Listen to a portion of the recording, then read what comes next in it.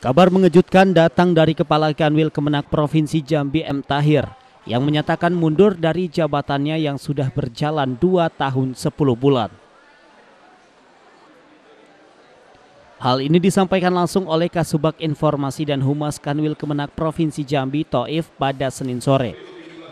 Toif mengatakan alasan M. Tahir mundur dari jabatannya karena dirinya ingin kembali ke dunia akademisi menjadi dosen.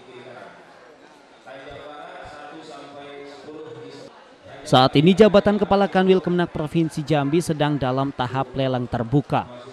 Lelang ini dapat diikuti oleh siapa saja yang akan dibuka mulai tanggal 4 hingga 18 Oktober mendatang.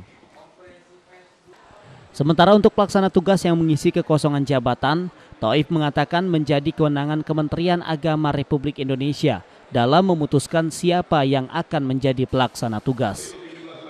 Beliau berkeinginan sendiri untuk kembali ke dosen.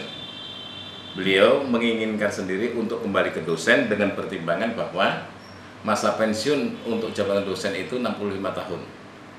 Sementara untuk jabatan struktural itu hanya 60 tahun. Ketentuannya untuk kembali ke dosen itu minimal harus satu tahun menjelang masa pensiun beliau. Nah, posisi saat ini beliau sudah pada usia 59 tahun. Suci Mahayanti, Jambi TV.